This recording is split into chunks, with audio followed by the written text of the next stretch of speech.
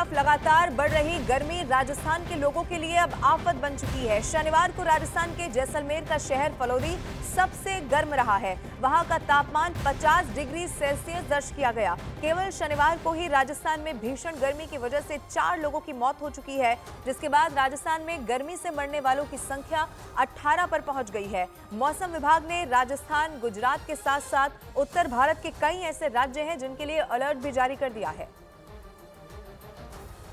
तो ये बड़ी खबर आपको बता रहे हैं। हालाँकि हर साल राजस्थान में यही देखने को मिलता है, गर्मी इतनी ज़्यादा हो जाती है कि कई लोगों की मौत की खबर सामने आती है। इस बार भी ऐसा ही हुआ, अभी तक का ये आंकड़ा बताया जा रहा है 18 पहुँच गया है।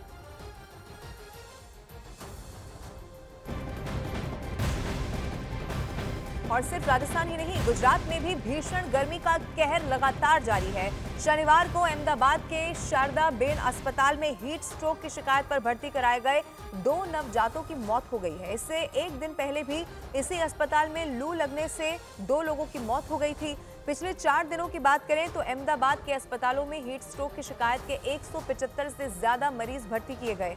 मौसम विभाग के मुताबिक पिछले तीन दिनों से अहमदाबाद गर्मी के रेड अलर्ट पर है, जबकि राज्य के कई जिलों के लिए गर्मी का ऑरेंज अलर्ट जारी किया गया है।